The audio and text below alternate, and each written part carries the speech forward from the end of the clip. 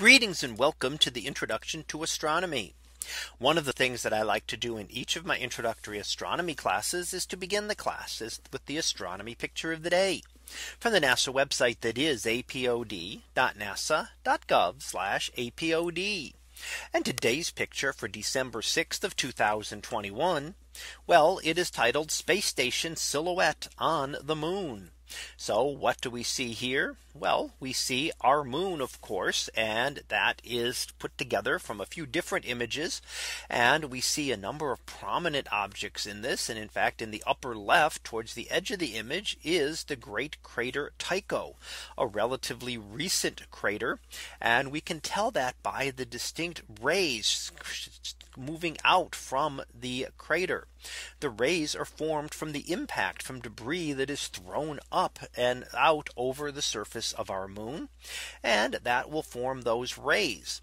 Now those rays will not last a long time. Well, a reasonably long time for us, but relatively short in terms of the history of the moon.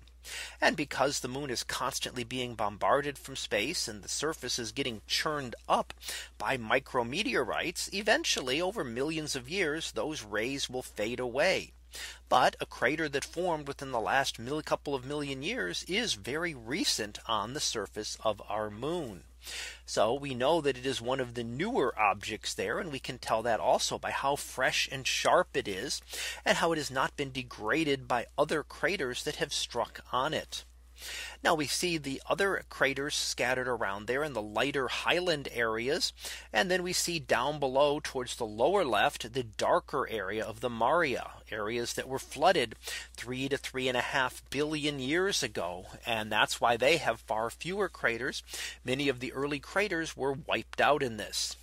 Now, of course, the prominent thing that stands out here is the object on the right hand side, which is our International Space Station. And you can see it very clearly silhouetted against the moon. Now planning a, a, shot like this of course takes preparation you need to know exactly where the when the International Space Station is going to be visible and that's easy enough and there is a link within the description on the website to check this and to find out when uh, the International Space Station will be visible from your area. But it takes even more detailed planning to be able to make sure that it is going to pass directly in front of the moon. The moon subtends an angle of about half a degree in the sky. It's only a very small portion of the sky. And if you imagine that on a great circle on the sky, you could put 720 moons.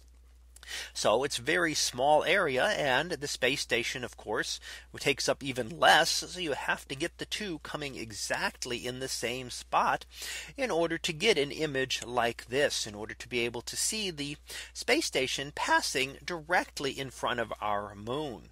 But when you do, you can see the silhouette and can see all sorts of details within the solar panel and the structure of the space station itself. So that was our picture of the day for December 6th of 2021. It was titled Space Station Silhouette on the Moon. We'll be back again tomorrow for the next picture previewed to be 90 black holes merging. So we'll see what that is about tomorrow. And until then, have a great day, everyone. And I will see you in class.